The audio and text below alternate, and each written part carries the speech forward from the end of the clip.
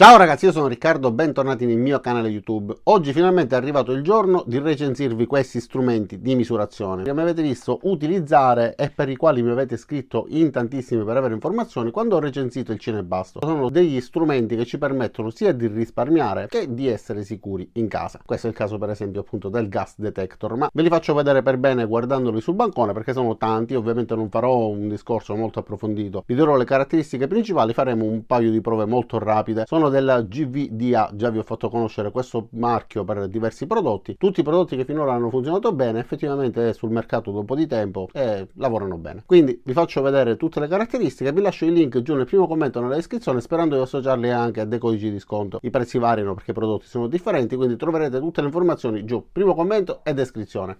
Ora iniziamo.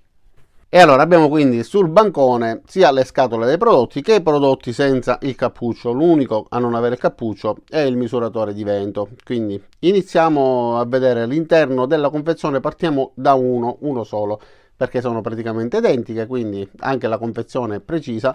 L'unica cosa che cambia è poi l'etichetta riportata da questa parte che corrisponde al codice riportato sul prodotto. Aprendo la confezione quindi abbiamo un piccolo manuale di istruzioni, una bustina per poterlo trasportare e poterlo proteggere, quindi in vellutino con dei laccetti e in questo caso specifico trattandosi del misuratore di umidità che ha le punte intercambiabili possono essere svitate, vengono date in dotazione sia una piccola chiavettina che delle punte per poterle sostituire. Questo è l'unico che ha dei pezzi di ricambio perché gli altri non hanno nulla che si possa intercambiare. Quindi confezioni praticamente identiche per tutti quanti. Manuale di istruzioni ovviamente in base al prodotto riporta descrizioni specifiche differenti che però non approfondiremo in modo molto dettagliato altrimenti il video durerebbe un'ora dedicando 10 minuti ciascuno. Innanzitutto voglio farvi notare che nonostante abbiano tutti il misuratore di umidità e di temperatura c'è un poco di differenza. Quindi questo per esempio a 20 gradi e 3 questo 20 gradi e 1 questo 21 gradi e mezzo. In questo questo caso tra questo che ha 20 gradi e questo 21 gradi e mezzo c'è un grado e mezzo di differenza. Questo addirittura 19 gradi e 4 e questo 19 gradi e 6 però orientativamente sono tutti attorno ai 20 gradi quindi c'è della differenza ma non è abissale. Se li utilizzate come riferimento ok ma se vi serve una misurazione precisa sappiate che c'è questo margine. Un grado non è nulla di grave però se vi serve precisione c'è questa piccola differenza. Ma guardiamo la funzione principale questo è solo un accessorio il fatto che abbia questa misurazione. Questo è il misuratore di decibel che ci dà la possibilità di misurare i decibel come dice il nome del prodotto stesso con più possibilità. Quindi abbiamo sia la misurazione veloce come in questo caso vedete va velocissimo. Se io parlo oppure metto un rumore immediatamente sale e me lo indica. Però in questo caso ci rende difficile la lettura. Allora abbiamo la possibilità di avere la velocità fast oppure slow. Quindi in questo modo come vedete è molto molto più lento e ci dà la possibilità di leggere con più facilità dandoci solamente il picco del volume più alto. Quindi comunque se io colpisco il bancone me lo indicherà ma non avrà questa salita e questa discesa rapida e semplicemente mi permette di leggerlo. Ora si stanno spegnendo man mano tutti i vari dispositivi perché li ho accesi contemporaneamente, c'è l'autospegnimento, quindi se non si fa nulla ovviamente si spengono. E stavo dicendo, su questo abbiamo diversi tastini, quindi abbiamo la possibilità di cambiare l'unità di misura per quanto riguarda i gradi, la possibilità di accendere e spegnere la luce del display, questo valido per tutti, tenendo premuto questo tastino, ma abbiamo anche la possibilità della funzione hold, quindi di bloccare la schermata nel momento in cui ci interessa e averla fissa, fare come una sorta di screenshot.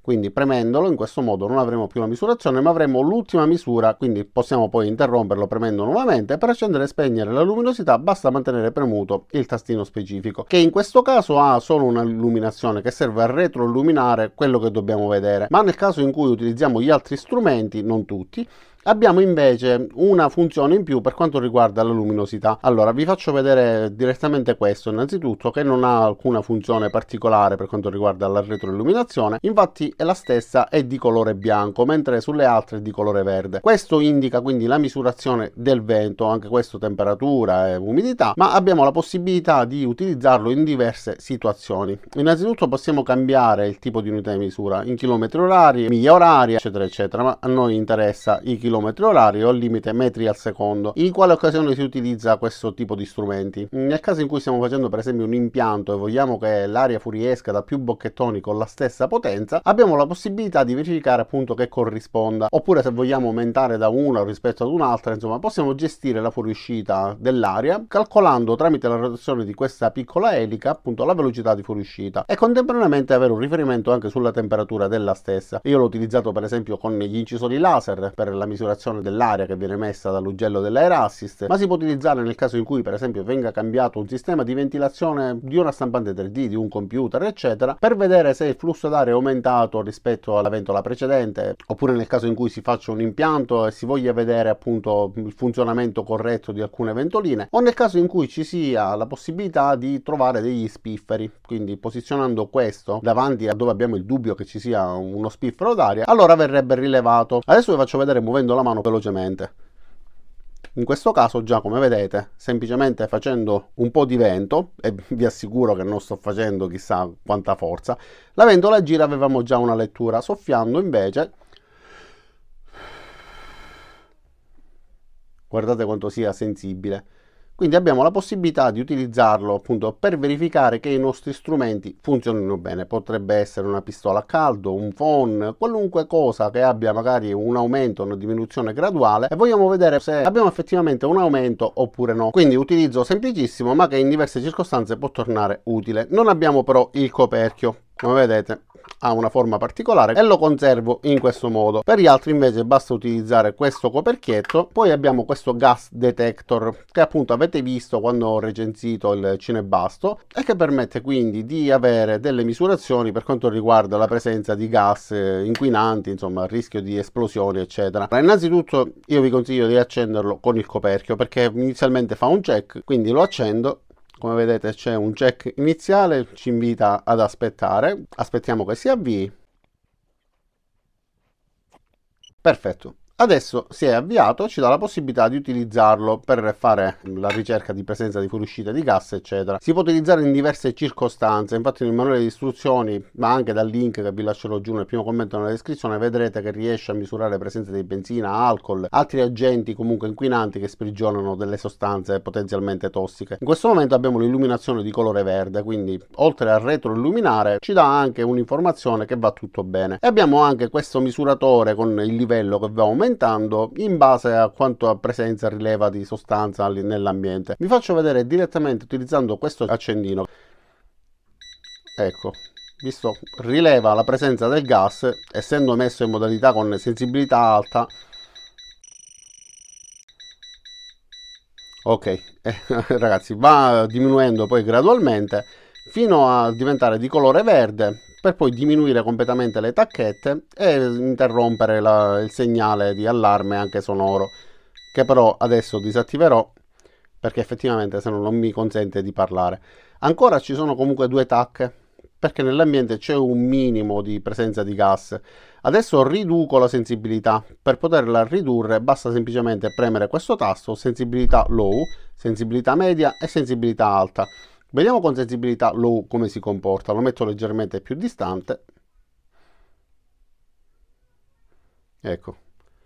Mi indica anche in questo caso la presenza di gas. Se io adesso aumento la sensibilità al massimo, ovviamente avrà una sensibilità maggiore anche da lontano. Quindi lo mettiamo in questo modo come vedete è arrivato immediatamente al, al segnale massimo ho disattivato ovviamente il, il suono però questo è il comportamento. E la stessa cosa può fare per esempio in presenza di alcol. Come vi ho fatto vedere nella recensione del cinebasto mettendolo vicino alla marmitta ma la stessa cosa si può fare con altri tipi di sostanze. Ripeto tutto l'elenco lo troverete nel primo commento e nella descrizione. APO è l'autospegnimento auto power off. Ma ovviamente possiamo spegnerlo anche da questo tastino. Non vedete il tasto di accensione e spegnimento della luce perché in questo caso ripeto la retroilluminazione serve come indicatore. Questo invece è il luxometro luxometro che permette di misurare la luminosità. Non sarò troppo tecnico e io conosco questo tipo di strumenti, ma non l'ho mai approfondito in modo troppo tecnico. Quello che mi interessa più che altro è vedere appunto la luminosità. Per esempio la misurazione dei lumen andrebbe fatta ad una distanza particolare di circa 28 cm con il fascio luminoso diretto in un modo particolare, eccetera. Quindi quello che vi sto facendo vedere ora, lo stesso per quanto riguarda le candele, perché riesce a misurare anche le candele, andrebbe fatto in modo corretto, ma per quello per cui si utilizza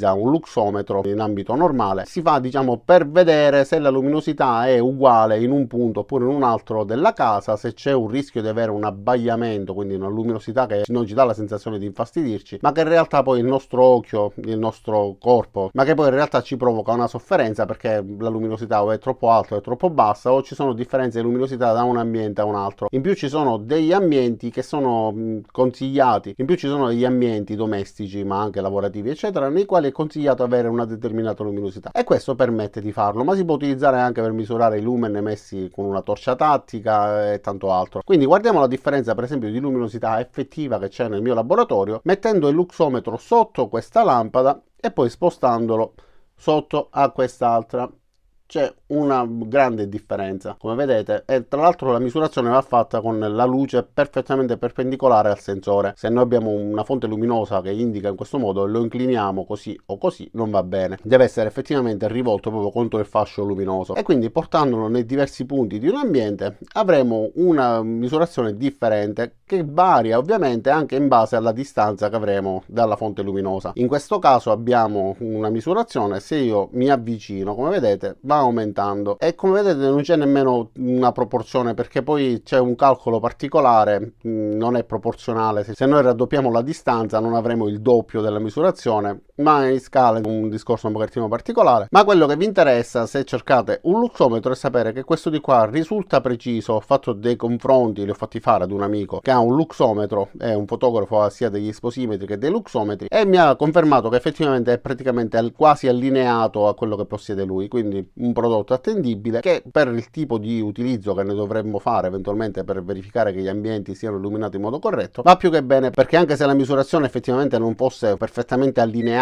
con quello professionale comunque ci permetterebbe di avere la sicurezza che in un ambiente tra un punto e un altro avremo comunque una certa coerenza. Anche per questo quindi si può cambiare sia in foot candele oppure in lux e adesso passiamo all'ultimo degli strumenti in ordine ovviamente di disposizione. Questo serve a misurare l'umidità presente all'interno del legno. Come sapete meglio di me il legno prima di metterlo ad ardere oppure prima di produrre pellet o di fare alcuni tipi di lavorazione deve avere una determinata umidità e questo ci permette tramite questo tastino di accenderlo compaiono una marea di icone eccetera. Abbiamo la misurazione dell'umidità dell'ambiente che viene rilevata dal sensore la temperatura e poi in questo caso abbiamo questa scala che ci indica il livello di umidità espresso in percentuale. All'interno del legno poi ovviamente qua abbiamo anche il, il riferimento con eh, il numero scritto in grande. E una serie di tastini che ci permettono sia di memorizzare di bloccare la schermata e poi di vedere la misurazione minima e massima cosa comune anche con gli altri non vi ho fatto vedere ma vi permette di vedere la massima e la minima misurazione. Ora prendo un pezzo di legno e vi faccio vedere appunto come si comporta utilizzandolo direttamente sul legno. Allora proviamo su questo listello.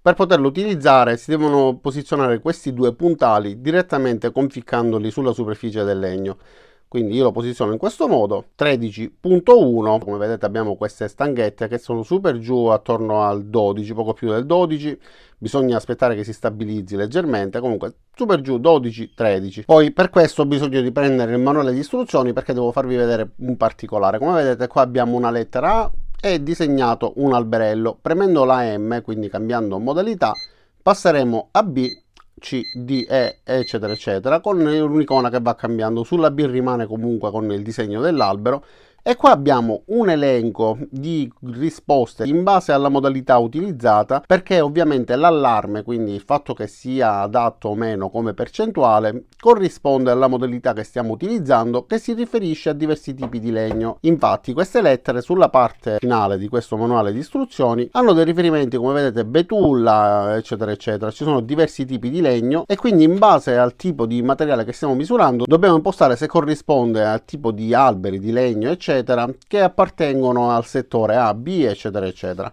quindi poi di conseguenza avremo la percentuale e di conseguenza ancora avremo quindi una lettura e un utilizzo diverso insomma quello che dobbiamo fare quindi cambia tutto in base alle impostazioni che daremo infatti se facciamo la stessa misurazione di poco fa sullo stesso listello avremo sempre circa 13 si deve stabilizzare e poi premendo M come vedete cambia scusate ho sollevato i puntali cambia. Ma cambia ancora molto in modo uh, abissale se vado sulla C.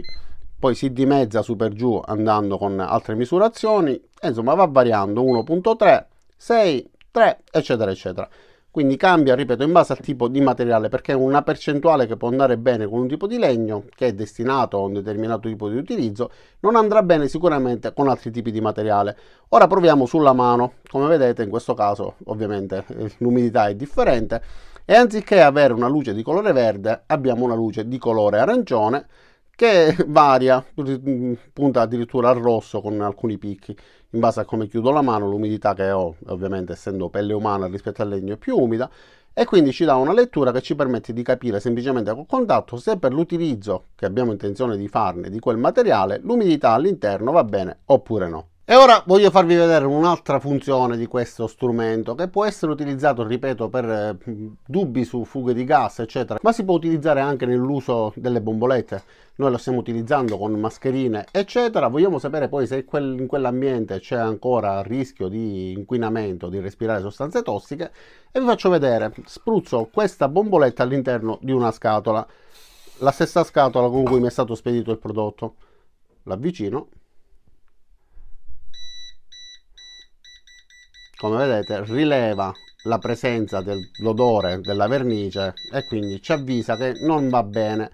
È un ambiente nel quale non bisogna respirare quell'aria. Ora ovviamente è messa in sensibilità alta ho fatto una leggera spruzzatina, io, io rimango nell'ambiente, però effettivamente non sarebbe un, una cosa salutare rimanere dove si è usata una bomboletta o altre sostanze che questo dispositivo riesce a rilevare e quindi ci permette di evitare di avvelenarci i polmoni. Ragazzi io vi lascerò tutti i link, tra l'altro vi lascio anche il link del gruppo dedicato alle incisioni laser con l'utilizzo del software Lightbarn, l'ho creato da poco, già siete in tantissimi, iscrivetevi anche voi perché questi strumenti si utilizzano per esempio anche con l'incisione laser per poter testare eventualmente anche anche la fuoriuscita dell'aerastis e tanto altro. Anche il legno da incidere andrebbe misurato con il rilevatore ma poi sono cose troppo approfondite. Ragazzi detto questo andate a dare un'occhiata a tutti i link che vi lascerò. Vi invito ad iscrivervi al mio canale mettete anche mi piace a questo video se vi è piaciuto cliccate sulla campanella per attivare le notifiche e ci vediamo tutti nei prossimi caricamenti. Ciao da Riccardo e a presto